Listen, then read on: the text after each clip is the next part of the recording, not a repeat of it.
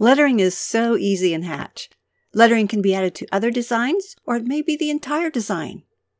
For example, you may want to create a label or a dedication for a project. Let's make a quick label for a quilt.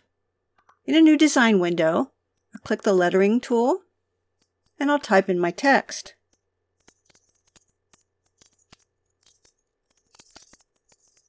So there's my text. You can add multiple lines. You can add single lines. If I go to the Objects tab of the Sequence Docker, we can see that this is one object. The default font is Block 2, and the default size is 10. I can pick a different font, but before I do that, I need to think about how I'm going to use this. Is this going to be a big block on the front of a quilt? Is this going to be maybe in the corner of a Afghan? Is it going to be on a baby bib? Is it going to be a small label on the back of the quilt? All of those are going to be decisions I need to think about so that I can determine what size font I want and what kind of font I want. Now I like to put labels on the backs of my quilts and I like to use a run stitch font. So click the font menu. We want to stick with a font that has a little red zigzag. These are pre-made embroidery fonts. I'm going to press R on the keyboard.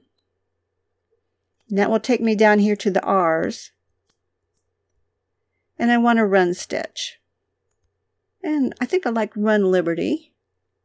I'll just press enter. There is my label. These are 10 millimeters tall. Now, if you're not used to working in millimeters, 12 millimeters is about a half an inch. So I'm going to make this a little smaller, and we can see what size this font recommends, 5 to 12 millimeters. So I might make that, I don't know, 7 millimeters. And there we go. We have a nice small font. It'll look nice on the back of my quilt. Now let's look at another one. You'll see this design in the lesson on motif stamps. Let's see how to recreate it. Now you don't actually have to type in your text. You can actually copy and paste it. So here I have this little recipe. It's already in a text file. And I'll just copy and paste these different sections in here. Now I could copy and paste this all at once. This could be all one object. But the longer your text block is, the more processing time and resources it can take to recalculate if you have to edit anything. So I'm going to break this up into three blocks. I'll have the title, well, I'll have the ingredients, and then I'll have the instructions. So I'll just move that off the edge of the screen there, create a new design, Control N, and I'll paste in the title. And we'll move that up a bit.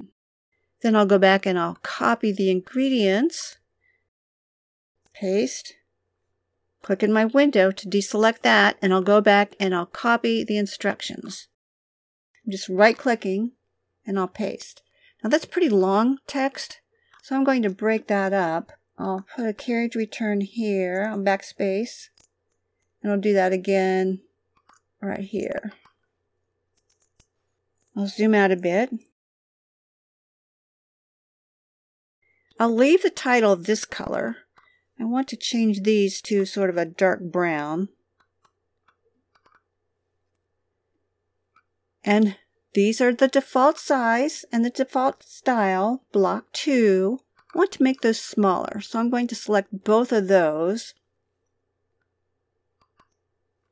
I'm going to press S to go down to the small text.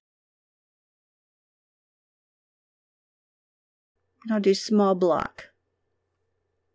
And I'm going to set the size to, let's try 5. I see this is a really small, 4 to 6 millimeters. Let's just go with 6. I'm going to change this font to Algerian. Now notice when I change it to Algerian, now we have all caps. It's because this font is just capital letters only. I can do some fun stuff with this. I'll put lettering art on that and arc that over like that.